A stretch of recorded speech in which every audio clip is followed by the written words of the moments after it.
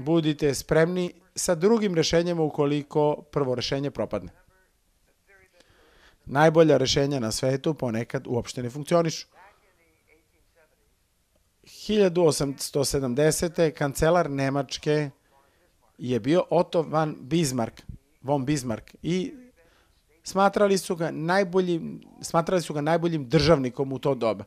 On je pregovarao o velikim problemima sa više zemalja i na stotine hiljada, miliona ljudi, ogromne količine novca i vlasništvo nad čitavim zemljama, ishodima ratova i on je bio sposoban u stanju da manevriše i da postigne najbolja rešenja, mnogo više od drugih diplomata u tom vremenu. Bio je čuven po tome što je uvek imao savršeno rešenje koje bih doneo na sastanke u Versa ili, ili u Beč ili u London ili u Pariz.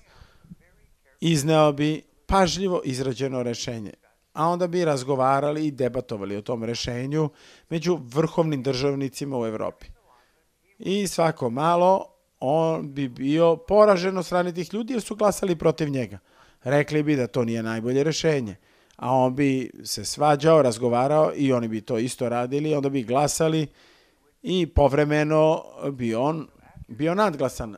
Pošto je, pošto se tako trudio da se izbori za svoje rešenje, on bi rekao i uzeo bi svoju akantašnu i, i izneo novo rešenje. Evo, još jednog rešenja.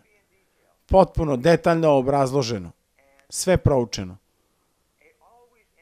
i uvek je pobeđivao. Pre ili kasnije bi nametao svoje rešenje. To se zove Bismarckovo rešenje. Mi to danas zovemo plan B. Mi kažemo koji vam je plan B, rezervni plan. Ako prvi plan propadne, koji vam je rezervni plan? I izumitelj toga je Otto von Bismarck koji je uvek imao plan B ukoliko prvi ne bi bio uspešan ili ukoliko nema dogovora. Jedna od najvažnijih stvari koje radite u životu je da imate rezervni plan. Kada god imate neki veliki problem ili cilj i odlučite da se opredelite, da ga realizujete, da rešite problem, uvek negde sebe zapitate šta ako krene naopako, šta ćemo onda raditi? I uvek imajte rezervni plan. Osoba koja ima rezervni plan ima ogromnu fleksibilnost, a osoba bez rezervnog plana je u zamci prvog plana.